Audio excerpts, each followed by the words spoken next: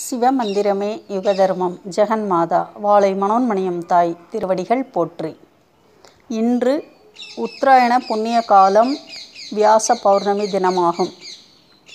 தை மாதம் முதல் ஆனி மாதம் வரை உத்தராயண புண்ணிய காலமாகும்.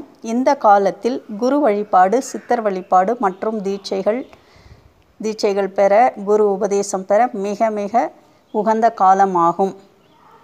தேவதா உபாசனைகள் தேவதா சித்தி எடுக்க மிக மிக உகந்த காலங்களாகும். அந்த வகையில் உத்தராயண புண்ணிய காலம் இந்த ஆணி மாதத்துடன் முடிவடைகிறது.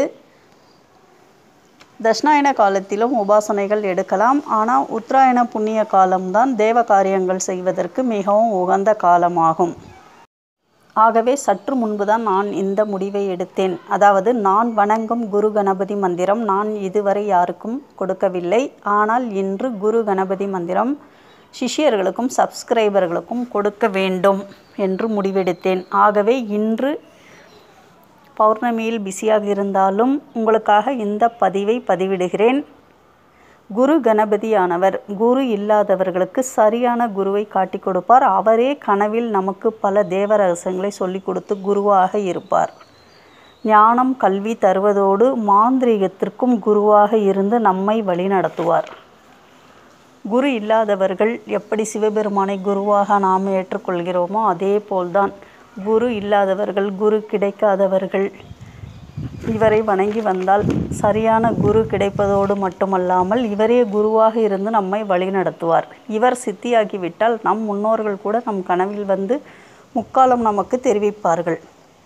அத்தகைய நான் வணங்கும் குரு கணபதியை நீங்களும் அறிந்து சித்தி பெற வேண்டும் என்ற நோக்கத்தில் இந்த மந்திரம் பதிவிடுகிறேன். இன்று மாலை ஆறு மணிக்கு சந்தனத்தில் பிள்ளையார் பிடித்து கொள்ளுங்கள். ஒரு எளிய பூஜையுடன் மந்திரம் ஜெபிக்க ஆரம்பிக்கலாம். இன்றைக்கே நீங்கள் மந்திரம் ஜெபிக்க ஆரம்பிக்க வேண்டும். நாளை அதிகாலை வரை பனிரெண்டு ஐம்பத்தி ஒன்று வரை பௌர்ணமி திதி நேரம் உள்ளது. இதில் இன்னொரு சிறப்பு என்னவென்றால் இன்று இரவு பதினோரு ஐம்பத்தி ஒன்று மணிக்கு அதாவது பதினொன்று ஐம்பத்தி ஒன்று பிஎம் முதல் நாளை காலை அதாவது நாளை அதிகாலை ஒன்று ஐம்பத்தி ஒன்று வரை சோடசக்கலை நேரம் உள்ளது. ஆகவே நாளை அதிகாலை காலை ஒன்பது ஐம்பத்தி ஒன்று வரை மந்திரம் ஜபிக்க வேண்டும். அதன் பிறகு அடுத்த நாள் முதல் பிரம்ம முகூர்த்தத்தில் இந்த மந்திரம் ஜபிக்க ஆரம்பிக்கலாம். அடுத்து வரும் அமாவாசை வரை மந்திரம் ஜபிக்க குரு கணபதி சித்தியாகி விடுவார். இதில் எந்த சந்தேகமும் இல்லை. எந்திரம் என்று பார்த்தால் எந்த கணபதி எந்திரமும் நீங்கள் பயன்படுத்தலாம். கண்டிப்பாக இன்று மாலை மந்திரம் சொல்ல தொடங்குங்கள். சோடசக்கலை நேரம் தவறவிட வேண்டாம்.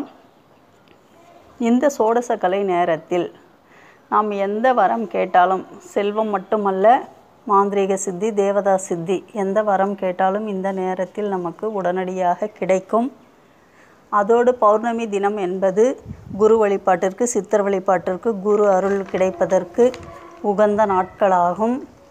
சந்திரன் வந்து அது மட்டுமல்ல சந்திரன் உயிர்களுக்கு அமிர்தம் தரும் நாள் இன்று ஆகவே மிக மிக சிறப்பு வாய்ந்த உத்தராயண புண்ணிய காலமான ஆணி மாதம் கடைசி பௌர்ணமி தினமான இன்று குரு கணபதி சித்தி எடுக்க ஆரம்பியுங்கள்.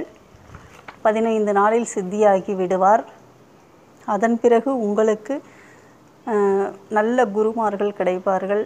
மாந்திரீகம் நீங்கள் கற்று ஒரு சாஸ்திர கலையில் மிக உயர்ந்த நிலையை அடைய முடியும். மாந்திரீகத்தில் மேலோங்கி நிற்க முடியும். நன்றி வணக்கம். ஜெய் வீரமா காளி அன்னையருள். ஜெய் வராகி அன்னையருள்.